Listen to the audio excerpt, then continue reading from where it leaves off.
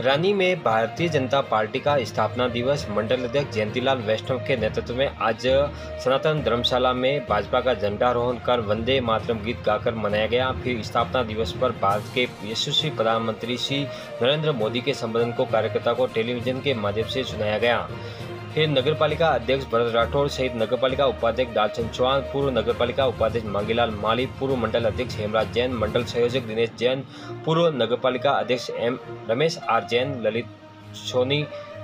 और कार्यकर्ताओं के साथ घर घर झंडे लगाकर मनाया गया। इस अवसर पर नगरपालिका अध्यक्ष भरत राठौर, उपाध्यक्ष लालचंद चौहान, बूथ विस्तारक जयसिंह सिसोदिया, मंडल महामंत्री प्रवीण